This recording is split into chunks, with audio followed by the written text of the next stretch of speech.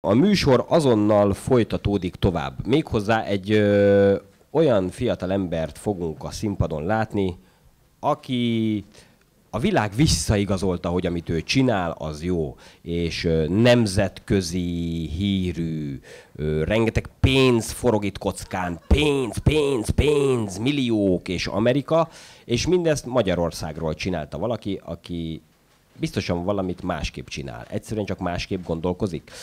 Fölírtam ide néhány dolgot. Például Zimbardót ismeri valaki? Tudjátok ki az? A pszichológus? Aki csinálta azokat a durva ö, pszichológiai kísérleteket a börtönben, meg a gyerekeknek. Egyik nap bementek az óvodába, és azt mondták, hogy ti vagytok az igazi amerikaiak, a kék szeműek. Másik nap meg bementek, és mondták neki, hogy ó, tévedtünk, a barna szeműek az igazi amerikaiak. És akkor azt vizsgálták, hogy hogyan büntetik egymást a, a gyerekek ezek után. Jó, a, nem a megfelelő papíromat hoztam ö, ö, ki a színpadra. Minden esetre ö, Halácsi Pétert várjuk majd a színpadra, aki a, például többek között a Prezinek az alapítója. A Prezi az, az ugye lenyomta kb. a PowerPointot a, a piacon, ezt ma már 35 millió ember használja 109 országban, de lehet, hogy ezek tegnapi hírek, és hogy azóta ezek a számok még jócskán megemelkedtek.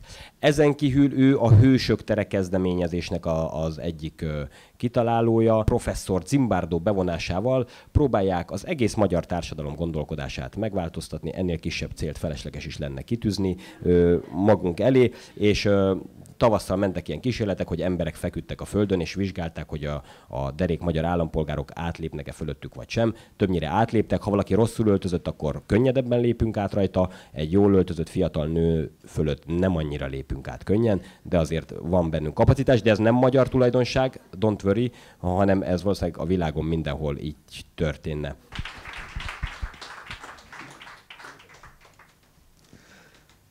Szóval körülbelül négy évvel ezelőtt, ebben az időben már nagyon vártam, hogy megszülessen az első gyermekünk, és kifejezetten szorongtam. Kifejezetten szorongtam attól, hogy valami új helyzetbe fogok bekerülni, valami olyasmit kell csinálnom, amit addig még soha nem csináltam, apaként, szüléként kell megfelelnem. Sok mindent elképzeltem arról, hogy milyen lesz ez a dolog. Egy, do- egy dolgot nem vettem számításra, hogy mi az, amitől legjobban fogok félni, és az, hogy rájöttem, hogy nem tudok énekelni. A gyerekeknek jó énekelni. Én úgy nőttem föl, hogy nem tudok énekelni, sőt úgy nőttem föl, hogy soha nem is énekeltem. Én voltam az, akinek énekórán inkább el kellett szavalni a, a vagy mondani a szövegeket, meg megtanulni az életrajzokat, csak inkább ne énekeljen a gyerek. Soha nem kerültem be semmifajta énekkarba, sose vettem részt azokban a bulikban, ahol jókat dajdajoztunk. Hozzámentem Lindához, a feleségemhez, aki egy olyan családban nőtt fel, ahol folyamatosan, állandóan énekeltek. Ez volt az ő kultúrájuk, mindig mindenhol énekeltek. El lehet képzelni az elő, első családi vacsorát, ahol akkor most éneklünk egyet, én meg ott ülök a sarokba. Um, és ő mondta azt először, hogy hát miért nem kezdesz el énekelni? A nász útunkon, amiközben atoztunk, azt tanította nekem, hogy hogyan szolmizálunk, meg Dóri mi, meg hogyan csináljuk ezeket a dolgokat. És amikor megszületett a gyerekem, akkor azt mondta, hogy csak kezdj el énekelni, nem baj. Én nem tudtam egy éneket se, tehát a zúg, a vog, a zúg, ez, ez ment, ezt gyakoroltam. És azóta találkoztam egy gondolattal, és a gondolat a következő.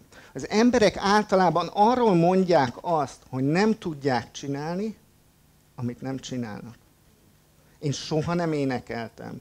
A szüleim soha nem énekeltek velem, vagy valószínűleg énekeltek, de én erre nem emlékszem. Amikor iskolába kerültem, addigra már a kortársaim sokkal többet énekeltek, tehát ők sokkal jobbak voltak az éneklésben. Ezért utána én már sose énekeltem, mert sose voltam benne a társaságban, és kialakítottam azt, hogy én nem éneklek. Én nem akarok énekelni. Nekem nem szabad énekelnem. Azóta most már tudom, tudomány mutatja, hogyha szeretnék, blues is lehetnék. Hogyha annyi időt töltenék énekléssel, amennyit az elmúlt 37 évben a feleségem töltött énekléssel, kb. a következő 10 évben be tudnám hozni a lemaradásomat, ha minden nap énekelnék, akkor nagyon jól tudnék énekelni. Ma már hiszek abban, hogy bármit el tudok érni. Ma már hiszek abban, hogy meg tudok változni. És van egy érdekes, szintén tudomány.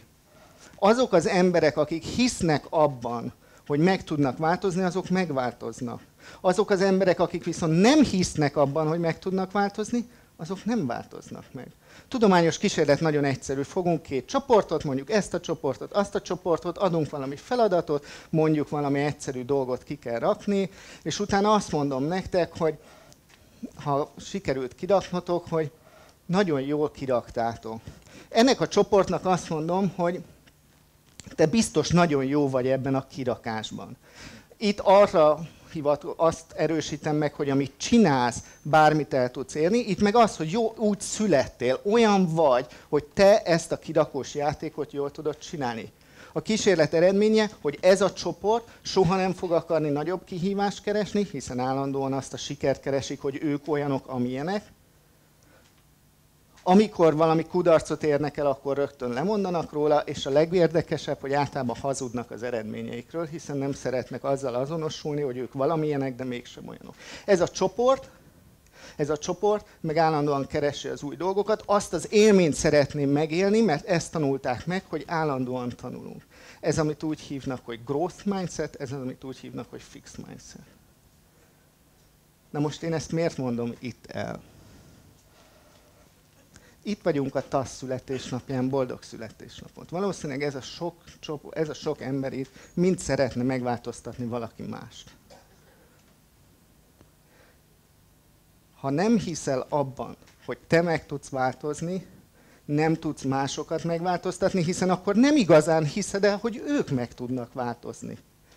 Ha nem hiszed el, hogy ők tudnak, milyen példát mondja, rendes politikusok lenni, akkor nem lesz, akkor nem. És itt a kérdésem, az egyetlen kérdésem, mikor változtál te meg? Mikor voltál olyan kihívásban, hogy valamit nem tudtál csinálni, nem csináltál, és megváltoztattad az életedet, és csináltad? És amíg ez nincs, addig kár azt hinni, hogy meg tudsz más változtatni. Meghívásom a következő. Találd ki azt, amit nem csinálsz, szeretnél csinálni, és meg tudod csinálni, megígérem. Köszönöm.